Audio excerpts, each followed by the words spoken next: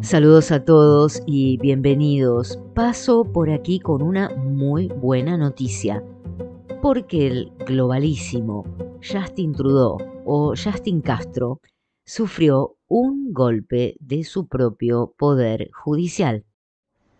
Y con las restricciones del caso, ustedes saben que eh, la plataforma no permite cuestionar mínimamente el relato del 2020 y 2021. Con estas consideraciones paso entonces a la noticia, porque un juez federal dictaminó que el uso de la ley de emergencias por parte de Trudeau contra los manifestantes del bloqueo que se llamó el Freedom Convoy, el convoy de la libertad, fue inconstitucional. Esa caravana de la libertad fue una serie de protestas activas iniciadas por camioneros en Canadá contra los mandatos de vacunación y restricciones sanitarias en todo el país. La caravana fue iniciada en principio contra esos mandatos de vacunación para cruzar la frontera entre Canadá y Estados Unidos, pero más tarde evolucionó a una protesta contra las eh, restricciones sanitarias en general. Comenzó el 22 de enero del 2022 y cientos de vehículos formaron caravanas desde distintos puntos y atravesaron las provincias canadienses para converger en eh, Ottawa el 29 de enero del 2022. A esta caravana se unieron miles de manifestantes a pie, iniciando una serie de manifestaciones que continuaron en las semanas sucesivas. Los manifestantes declaraban que no iban a cesar las protestas hasta que se derogasen todos los mandatos y restricciones. Las autoridades expresaron preocupación por el impacto económico de los bloqueos. Así es que finalmente el 11 de febrero se reunieron Justin Trudeau y eh, Joe Biden para discutir el fin de estos bloqueos en la frontera. El 14 de febrero, en un ataque de locura, y por primera vez en la historia de Canadá, Justin Trudeau invocó la ley de emergencias para hacer frente a las protestas.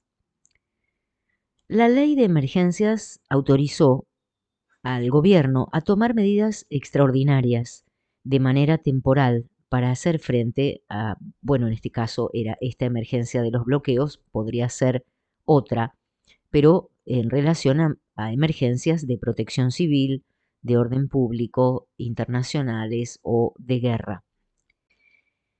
Un año antes de esto, en el otoño del 2021, tanto Canadá como Estados Unidos habían aprobado exenciones a los requisitos de vacunación para cruzar la frontera entre ambos países, que permitían seguir circulando a los camioneros transfronterizos con el objetivo de evitar agravar eh, una crisis en la cadena de suministro.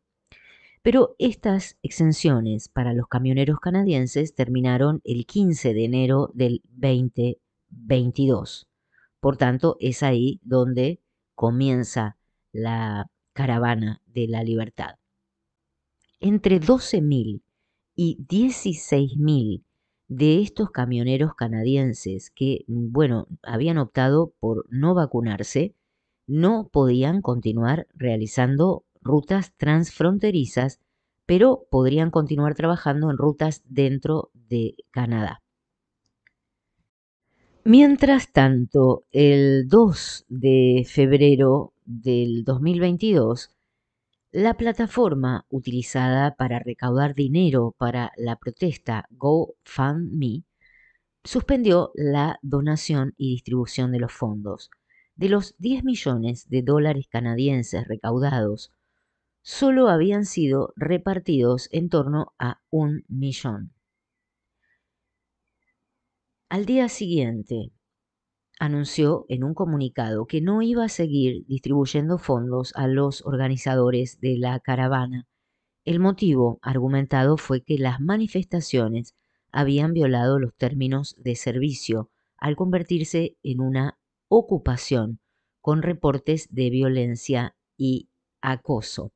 Ya la policía de Ottawa había pedido a la compañía que dejase de proveer fondos a los organizadores de la protesta.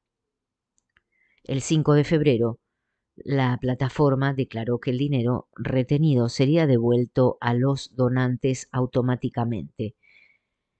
Los organizadores de la caravana trasladaron la financiación a otra plataforma, Gives Go, y mediante la petición del gobierno provincial de Ontario, un tribunal ordenó congelar el acceso a los fondos de esta nueva plataforma tras haber recaudado unos 9 millones de dólares. Gibson Go respondió comunicando que no seguiría las órdenes y entregaría el dinero directamente a los organizadores, asegurando que Canadá no tiene ninguna jurisdicción sobre cómo gestiona los fondos esta empresa. El día 8 de febrero, Twitter censuró la cuenta de los representantes de la caravana.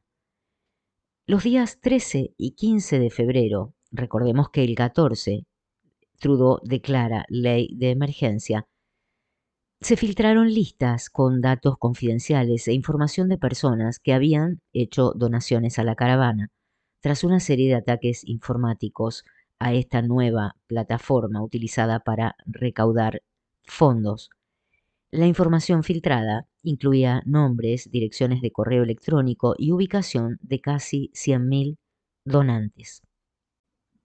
Finalmente, el 23 de febrero, el gobierno pone fin al estado de emergencia, pocos días después de una gran operación policial para poner fin a la ocupación en el centro de la ciudad. El 18 de febrero del 2023, la Comisión Ruló concluyó que el gobierno hizo bien al declarar el estado de emergencia ante esta situación. Una comisión encabezada por el juez del Tribunal de Apelaciones de Ontario determinó que la declaración del estado de emergencia en Canadá fue apropiada. Pero finalmente, el martes 23 de este año, este juez federal dictaminó la inconstitucionalidad de la ley de emergencias para este caso de la caravana de la libertad. Y mm, en su fallo dice que debe ser una medida de último recurso para el gobierno y el gobierno no ha logrado demostrar la peligrosidad de, de, esta caravana y de esta manifestación. Este decreto de emergencia eh, supuso la suspensión de libertades civiles prohibiendo reuniones públicas y otorgó poderes adicionales a las fuerzas policiales y además permitió el congelamiento de las cuentas bancarias de los manifestantes.